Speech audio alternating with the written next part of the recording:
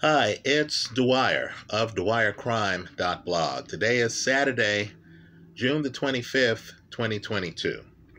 Remember, the opinion you should follow should be your own. Just consider this video to be a second opinion from a complete stranger online. Let me also point out that DwyerCrime.blog is available at DwyerCrime.blog, free of cost. We also can be found on Apple Podcasts, on Spotify, as well as on Amazon's podcast service. Again, all free of cost. I made an earlier video, and I take these videos quite seriously. At the time, a woman named Dana Chandler was in prison convicted of a double homicide. And in the earlier video, I made the argument that the prosecution simply didn't have any evidence to warrant the conviction, that the case should never have been brought, that Dana Chandler should never have been convicted. Well, I'm pleased to report that because of her excellent lawyers and because of the absence of evidence in the case, uh, in my opinion, uh, but mainly because of prosecutorial misconduct, which we'll discuss in this video, Dana Chandler has been granted a new trial. That trial is scheduled to take place later this year. Let's hope the state of Kansas does the right thing and either drops the charges, and I believe this is a case where the charges should just be summarily dropped, or works out a deal where she is able to walk free. Now, let's talk about the level of prosecutorial misconduct. This is a case that really impacts all of us because the system cannot work when prosecutors engage in unethical behavior and lie to juries. Right? The juries end up then relying on the lies and doing things like convicting people for double homicides when there's little to any evidence. Now, the prosecutor in this case has been disbarred that's how bad it was, folks, and can no longer practice law. Now, what I'm going to do is I'm actually going to refer to the court's opinion. And I'm going to refer to paragraph numbers in the court's opinion. So if there are any law school students out there or people who just enjoy, like I do, reading these court opinions, you will know where to look to investigate further the points I've raised in this video. Now let's just talk about the court's findings. Just understand, the court found that the prosecutor in Dana Chandler's case, in which she was convicted of a double homicide, did not show competence, did not show or present meritorious claims and contentions, did not show candor toward the tribunal, did not show fairness to the opposing party and counsel, did not properly participate in bar admission and disciplinary matters, right? Engaged in outright misconduct. Now, let's just give background on the case.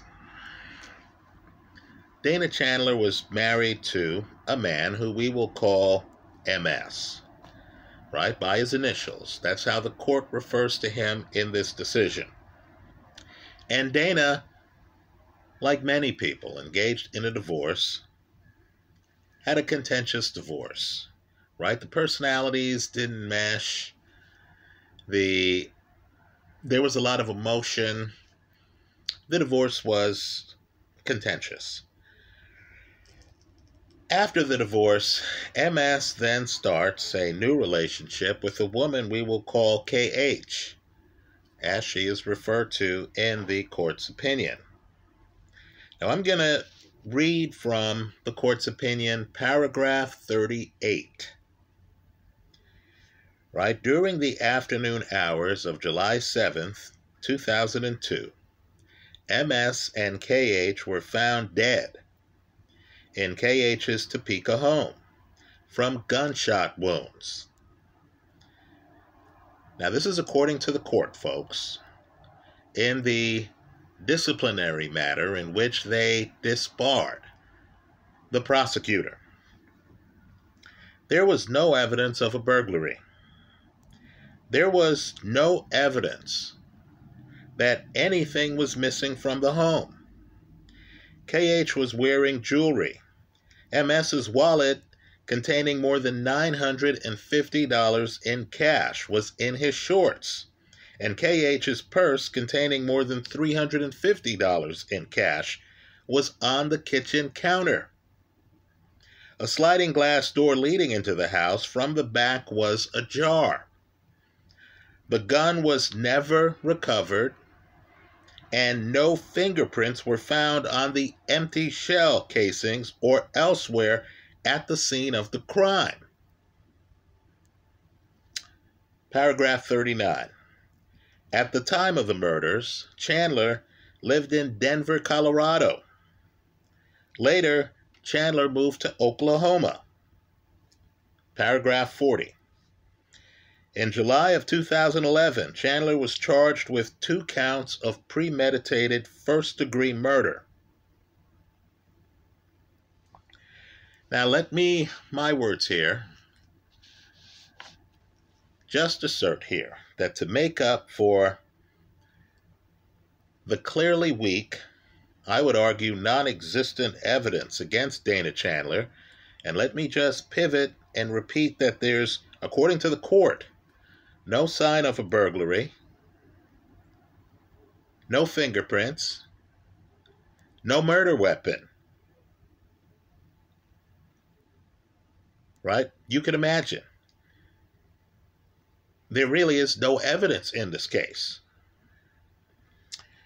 Well, to make up for the lack of evidence, the prosecutor invented an imaginary protection from abuse order, one that the divorce court never issued. The argument was that Dana Chandler was a dangerous, scorned woman, upset that her ex husband had moved on. So much so that the court had to issue a protection from abuse order to keep her away from him. Now, let me just make a distinction. At the beginning of a divorce case, at least here in California, the court will issue what's called automatic temporary restraining orders. These are standard in divorce cases. What they say is that you can't move assets and you can't physically assault the other person, right? Let's keep this respectful. Let's keep this professional. What the prosecutor here was arguing is different. She was arguing that in the final divorce decree, there was a determination that Dana Chandler was so dangerous that the court had to issue a protection from abuse order. Let's read paragraph 52 of the court's decision disbarring the prosecutor. During the respondent's closing statement to the jury, and this is the prosecutor, right? She argued, How else do we know the defendant is guilty? MS, the husband, got a protection from abuse, a court order. He applied and said, Hey, judge, please order this woman to stay away from me. And the judge agreed. By the way, these are comments to the jury. Right? And in 1998, meaning one year after he filed for the divorce, he was continuing to have problems with the defendant, not leaving him alone. So we got a court order saying she has to stay away. The protection from abuse order did not stop the defendant, though.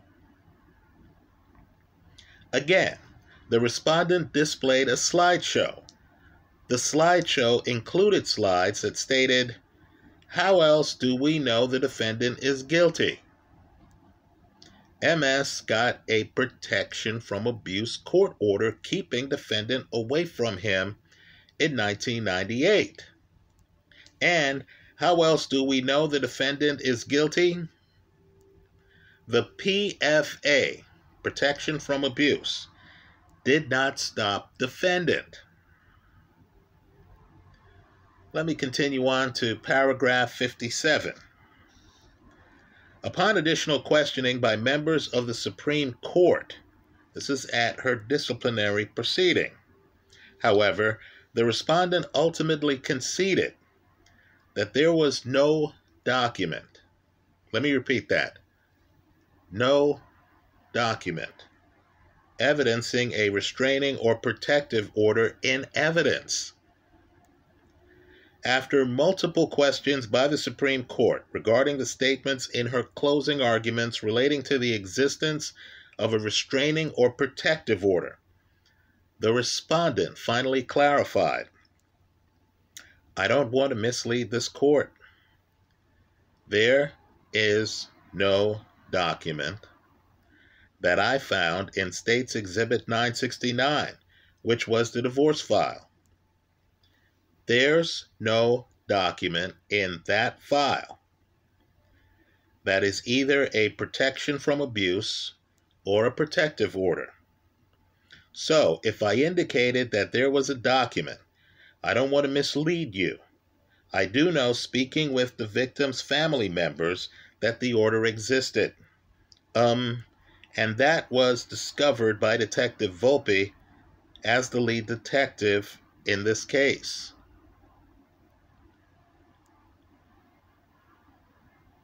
This is a jaw dropper. Folks, this isn't just a murder case, it's a double murder case. The prosecution is telling you that she has exhibits prepared, right slides that say, How else do we know the defendant is guilty?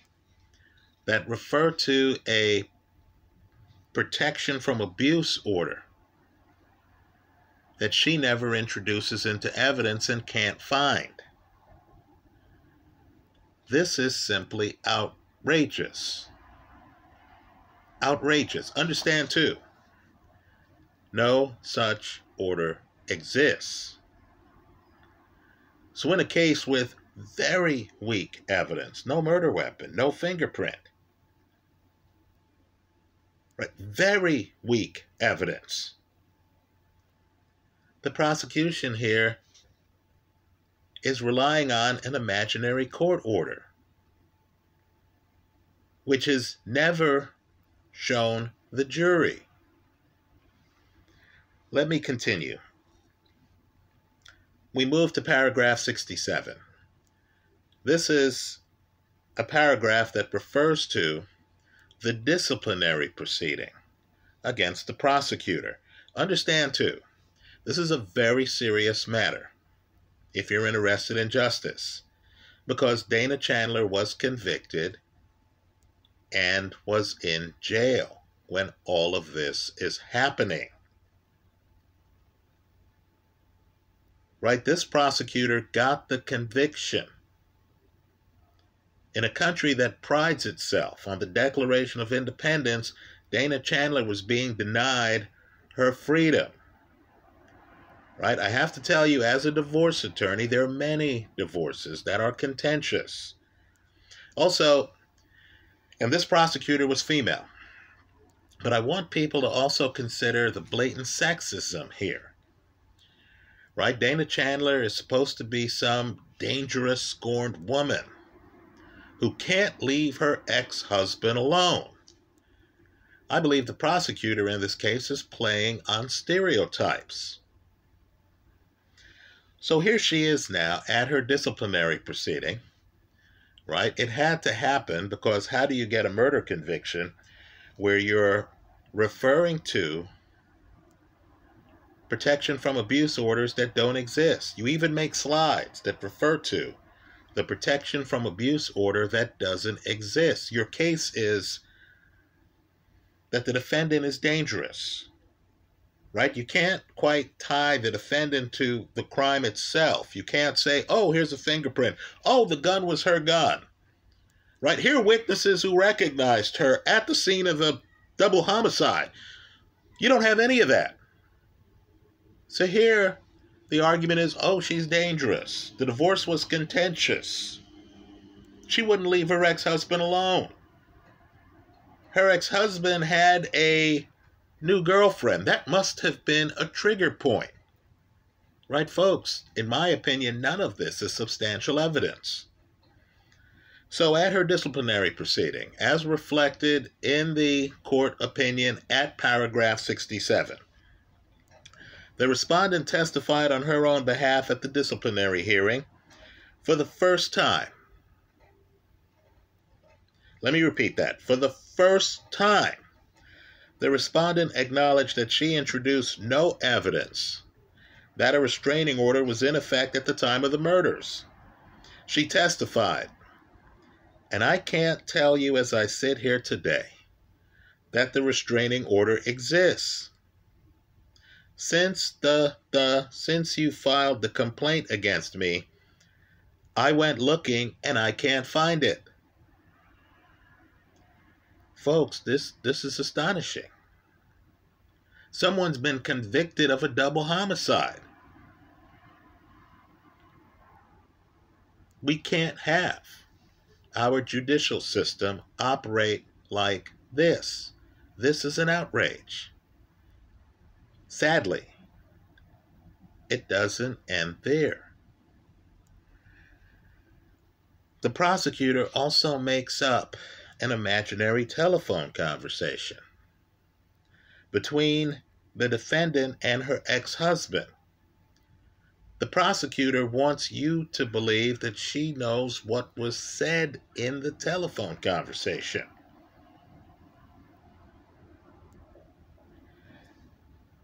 So, paragraph 73 of the court's decision disbarring the prosecutor. On July 5th, 2002, two days prior to the murders, Chandler called MS seven times. One of the phone calls lasted five minutes. Paragraph 74. During opening statement of Chandler's jury trial, the respondent alleged that during the five minute phone call, MS told Chandler that he was engaged to marry KH. The respondent implied that news of the engagement prompted Chandler to travel to Kansas and murder MS and KH two days later. Paragraph 80. During the oral argument, the Supreme Court questioned the respondent about her argument to the jury that MS informed Chandler of his engagement to KH during the five minute phone call. In response to a question by Justice Johnson, the respondent asserted, We know exactly what happened during that phone call because MS told his brother, TS, I'm going to get married to KH, and I'm afraid of what that news will do when I tell Chandler because I'm afraid of what she'll do. Further, in response to a question by Justice Bayer, the respondent confirmed her position that TS testified about the substance of the discussion between MS and Chandler during the five minute phone call. Paragraph 81. Upon further questioning by the Supreme Court, the respondent abandoned her argument that TS's testimony established that Chandler learned of the engagement in the five minute phone call. Then they have in parentheses here at the disciplinary hearing, the respondent agreed that TS's testimony did not establish the substance of the five minute phone call. Folks, this is simply outrageous. Simply outrageous. Understand, at no time does TS hear what's said in the phone call. He's not tapped in on another phone. Not only that, if you listened closely to paragraph 80, MS doesn't tell TS that he told Dana Chandler that he was getting married. Rather, he tells his brother, Hey, I'm worried how she's going to react when I tell her. Right, folks, this evidence is speculation by the prosecutor here as to what was said in the five minute phone conversation, which was one of a number that the two people had that day. Right, folks, you cannot make bold statements to a jury about what was said in a conversation between a man who's no longer with us and the defendant, who certainly did not tell this prosecutor, yes, he told me he was getting married and I was livid. This is a prosecutor reaching at straws. Let's continue. The prosecutor further, in trying to link a woman who lived in another state to a crime that took place in Kansas makes up an alleged escape route that Dana Chandler is supposed to have used in driving away from the crime scene. Right? Makes it up. Prosecutors are supposed to present evidence to juries, not speculative fictional accounts of what might have happened. So, we get to paragraph 82. During her opening statement, the respondent stated that the state's evidence would show and she sang this to the jury. The defendant's actual route included that she went from Denver to Topeka, MS and KH's house, and after killing both MS and KH, in an interest to get out of the state as quickly as she could, she drove directly to Nebraska. After she gets to Nebraska, she turns around and goes home, heading towards Denver. This route matches the defendant's gas purchases and the defendant's gas consumption by her credit card receipts.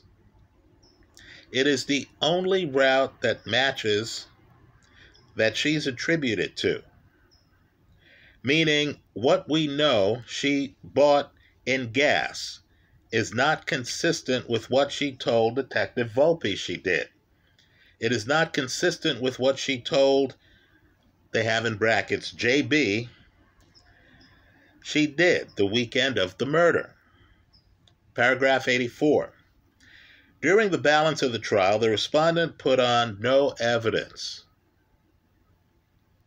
Let me repeat that no evidence. This is the court at her disciplinary proceeding. Let me back up and repeat this first sentence.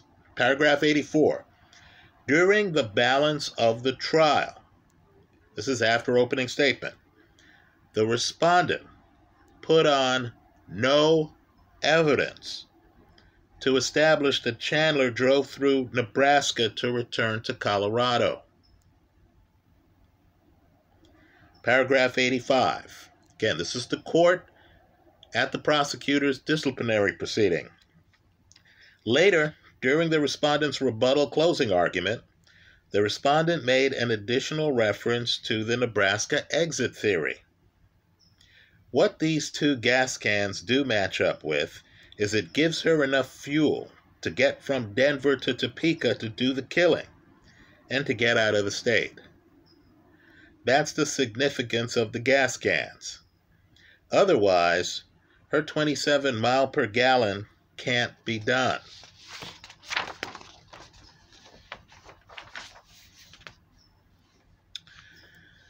Well, let me just say this is a travesty.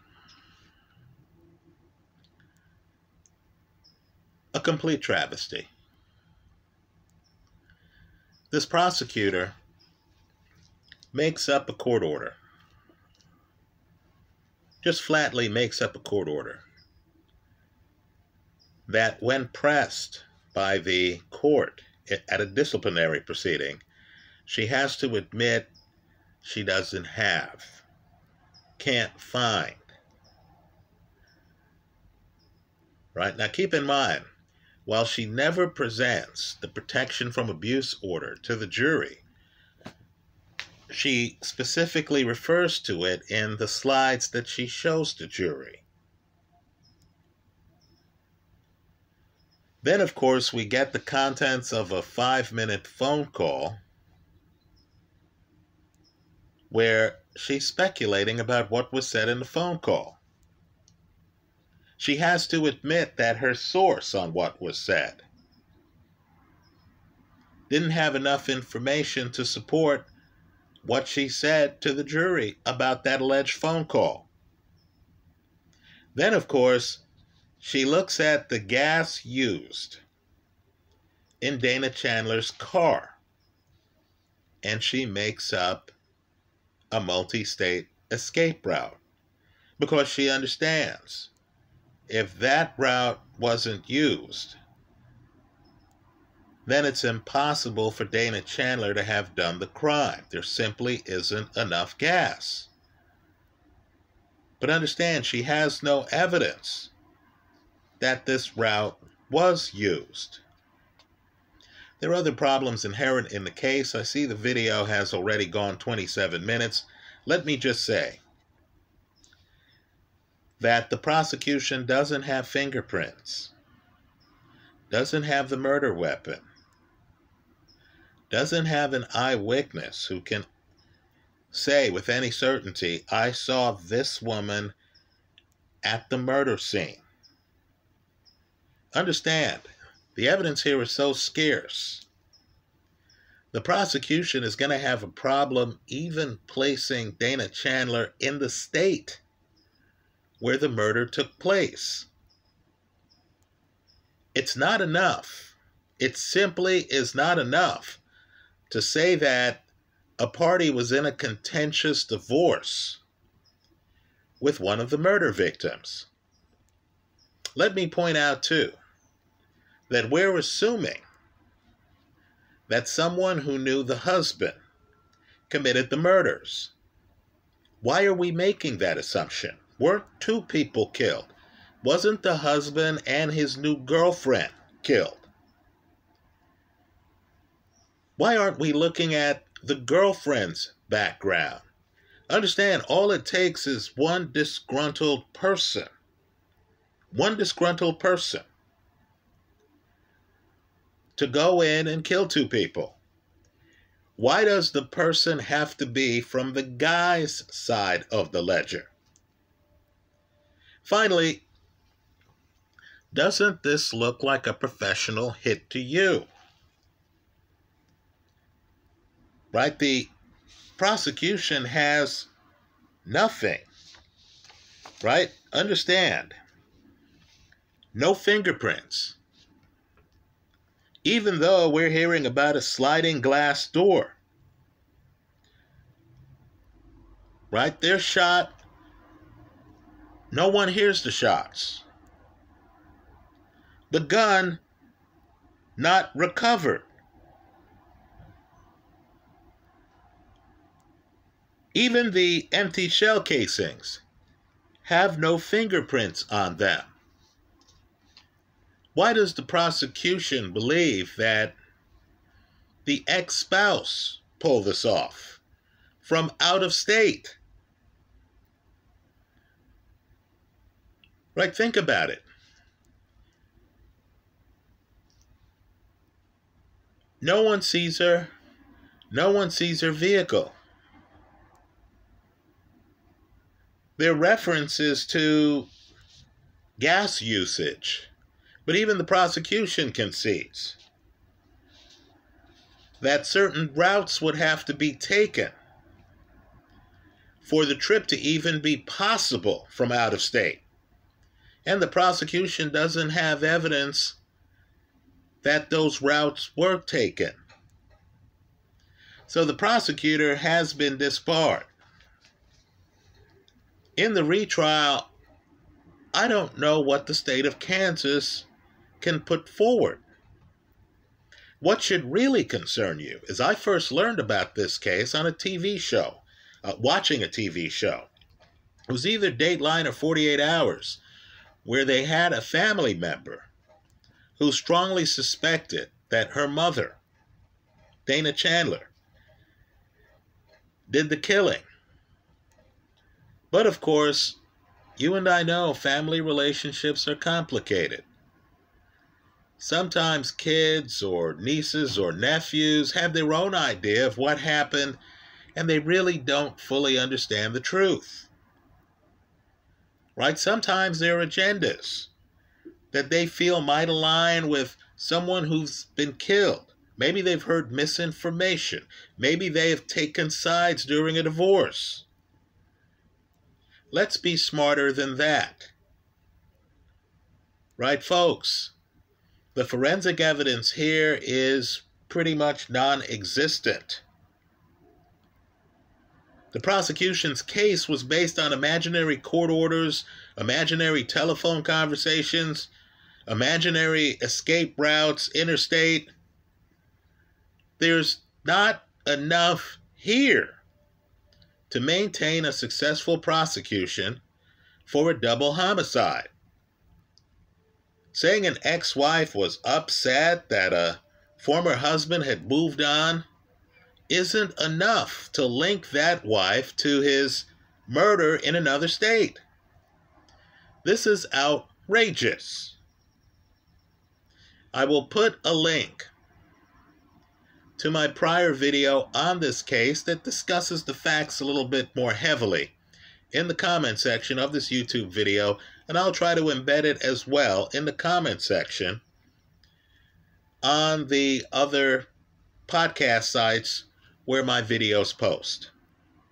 Let me hear from you. I'm openly rooting for Dana Chandler in the retrial. I think it's a tragedy that she spent as long as she had. It's been several years, folks, in prison for a crime there simply is no evidence of her ever committing. Right? Understand, too, I get the idea that prosecutors are passionate and they want convictions. But prosecutors need to make sure that they have the evidence on which to get a conviction. You can't start making up things in front of the jury. Here, that cost the prosecutor her law license. That's how I see it. Let me hear from you.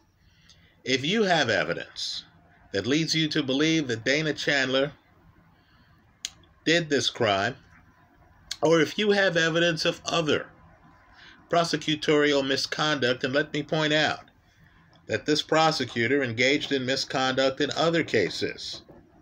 Right? At one point in this case, the judge who knew the prosecutor said to the prosecutor, I don't want you pointing to anyone in the gallery. And of course, the prosecutor then proceeded to motion to someone in the gallery.